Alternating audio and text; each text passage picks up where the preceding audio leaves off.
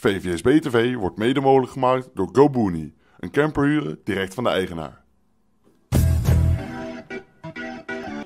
VVSB heeft een week de tijd gehad om bij te komen van het sensationele gelijkspel. Wat gevoeld moet hebben als een verlies voor de Noordwijker Houters. Vorige week in Heemskerk tegen ADO 20, de kampioensconcurrent, werd het in de laatste seconde nog 3-3.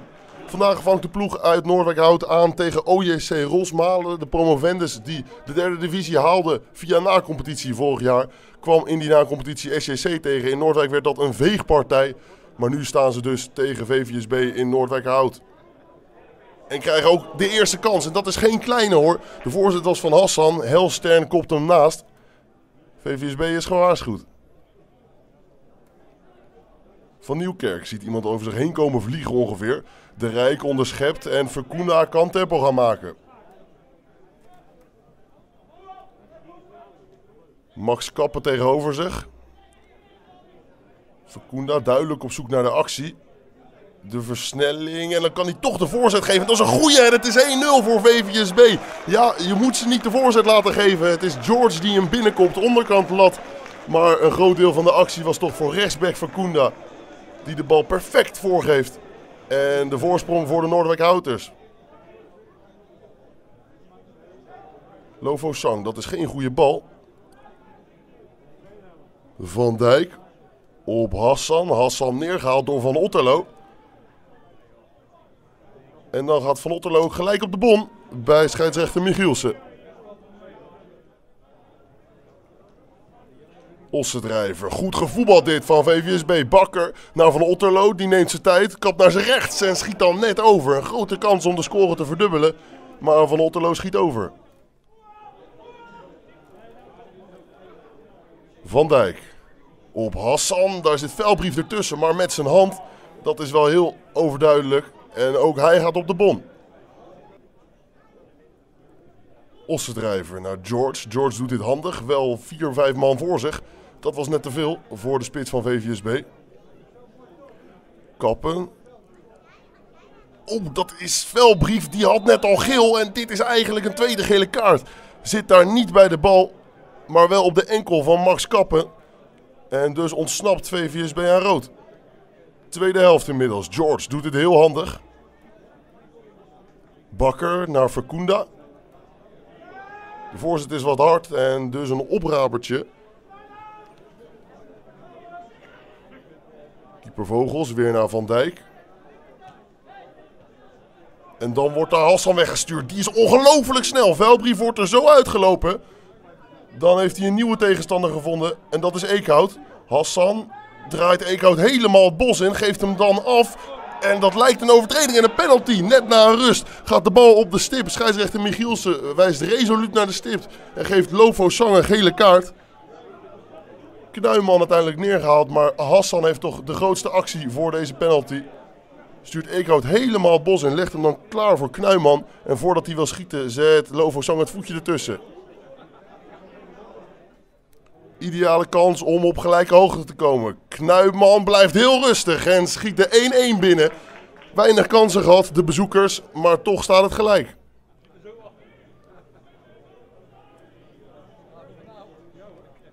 Corner, schiet door en hij gaat erin. Net na de penalty is het ook gelijk 1-2. Wat gaat het dan hard in één keer? Het is Helstern die hem binnenschiet.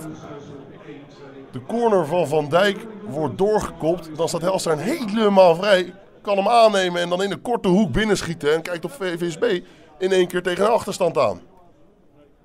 Snel genomen vrije trap. Hier is Van Otterlo grote kans. Mooie redding van keeper Vogels. VVSB dringt aan.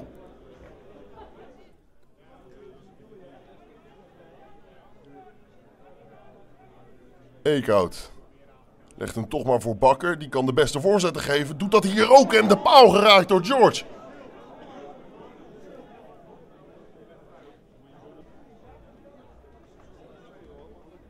Ossendrijver dribbelt in. Geeft een goede bal aan Van Otterlo. Van Otterlo komt op de een of andere manier langs de directe tegenstander. Kijk dan even, ziet daar helemaal vrij staan. Wat een kans zeg voor de doorgelopen Ossendrijver. Maar de 100% kans wordt overgeschoten.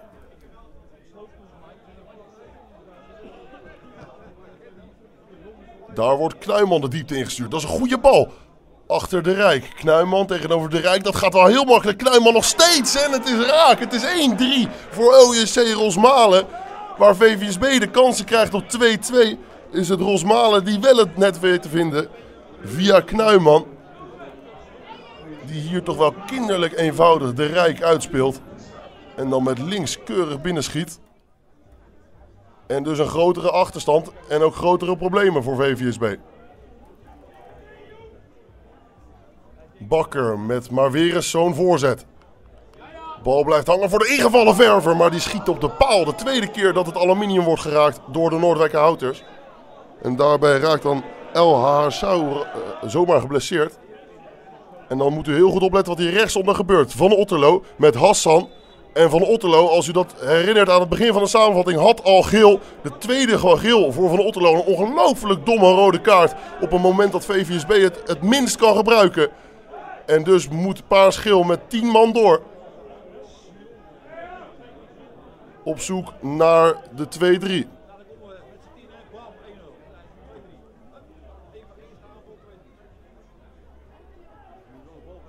Bakker zal hem ongetwijfeld weer voorgooien. Dat doet hij inderdaad. De bal is wat hard. Daar wordt Ossendrijver neergelegd en een penalty voor VVSB.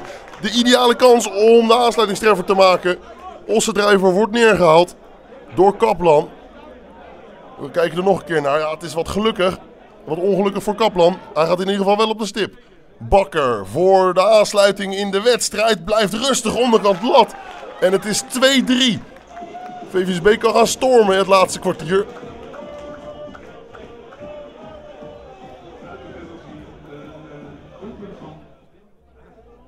Dan, één minuut na de aansluitingstreffer.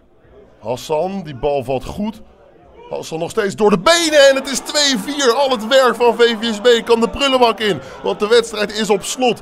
Vijf minuten voor tijd is het Hassan die 2-4 maakt. Een bijna onmogelijke opgave nu voor de Noordwijker Houters. En Rosmalen zit op rozen. Van Dijk met de vrije trap.